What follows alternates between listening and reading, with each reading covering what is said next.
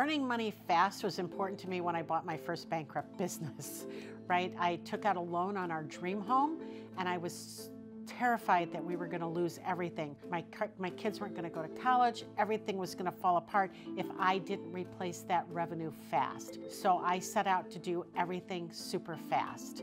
I, I needed to make money fast. I needed to bring in new people fast. I needed to hire fast. I think wealth rewards speed.